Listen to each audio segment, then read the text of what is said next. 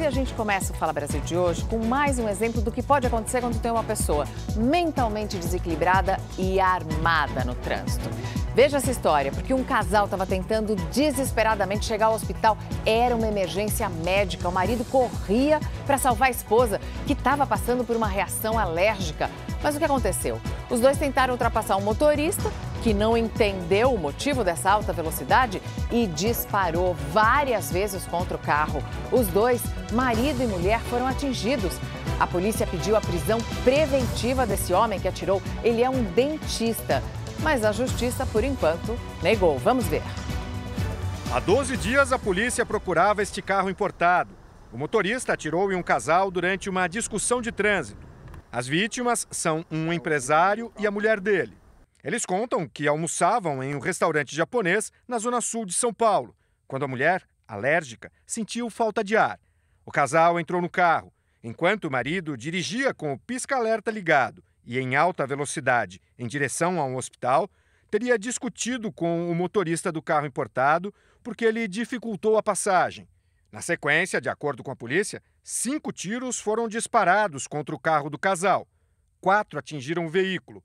Um deles pegou no abdômen da mulher e outro acertou de raspão no braço do empresário.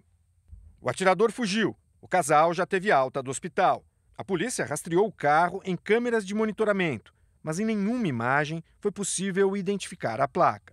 Todas as vezes que a placa era identificada, era fotografada por um radar, por uma câmera de monitoramento, ela parecia borrada. Isso chamou muito a nossa atenção e foi o que mais dificultou o nosso esclarecimento. A gente vai requisitar a perícia justamente para verificar o que pode ter ocorrido. A gente sabe que existem é, alguns dispositivos que mascaram é, a ação de radares e a ação de, de câmeras de monitoramento. A investigação descobriu que todos os dias um carro com as mesmas características passava por esta avenida aqui na Zona Sul, mas as imagens não mostravam onde ele parava. Os policiais então começaram a checar os estacionamentos da região, até que nesta terça-feira encontraram o veículo na garagem deste prédio comercial. Quando o motorista ia pegar o carro, foi abordado pelos investigadores. Ele foi identificado como Ricardo Barroso Lilá Filho, de 44 anos. É dentista e tem um consultório no prédio. Segundo a polícia, ele confirmou ter atirado no casal. Alegou acreditar que se tratava de um assalto.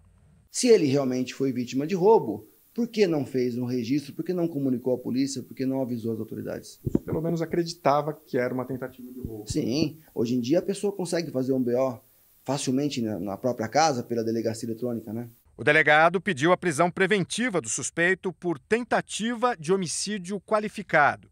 O dentista entregou a pistola que teria usado no dia do crime.